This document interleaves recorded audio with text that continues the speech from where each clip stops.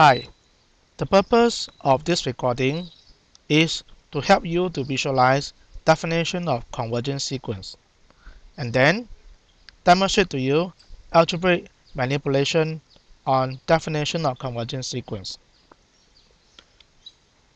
To illustrate this, I will try to help you visualize the sequence a sub n equal to 1 plus 1 over n square where n equal to 1, 2, 3, 4, and so on, natural number.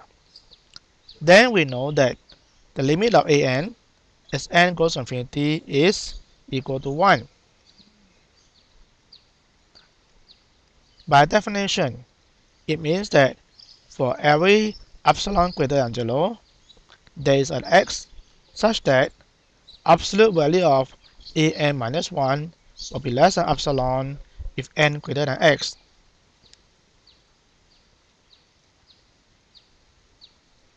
which means a sub n minus 1 will be less than epsilon and greater than minus epsilon if n greater than x. And rearrange it, it means an between 1 plus epsilon and 1 minus epsilon if n greater than x. So for different epsilon, we get different x. If epsilon is equal to 0.1, what is a suitable x? We are examining this using a sequence diagram. I have the sequence diagram plotted here where my a sub n is equal to 1 plus 1 over n square.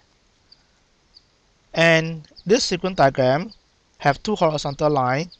The red line represents y equal to 1 plus epsilon where epsilon is 0 0.1 and the dotted line below here is y equal to 1 minus epsilon. And I have plotted the AN. So for example, this A10 is around here and this is A20 n equal to 20 and we notice that after n equal to 21 we find that the sequence fall within the yellow band bounded by two boundaries y equal to 1 plus 0.1 and 1 minus 0 0.1.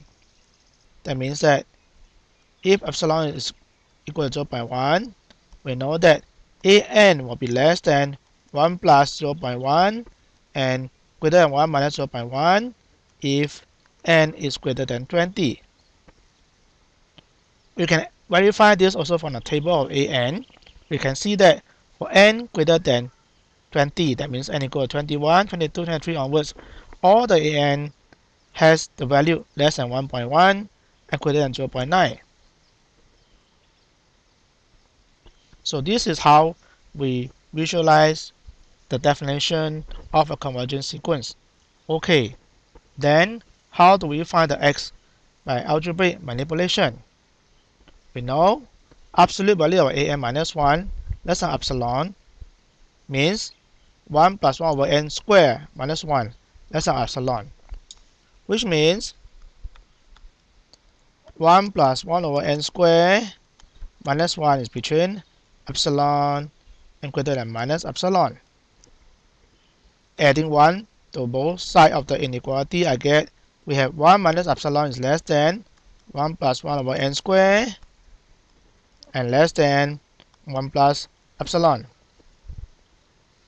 So since epsilon is small, so if epsilon is less than 1, then we can take the square root.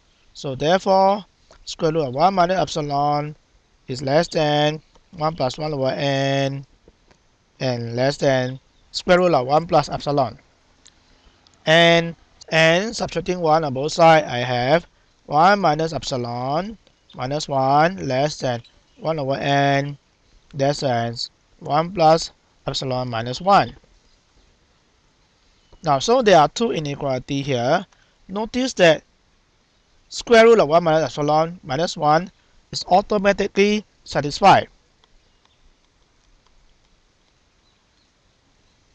For n equal to 1, 2, 3, 4, 5, so there is no concern for us.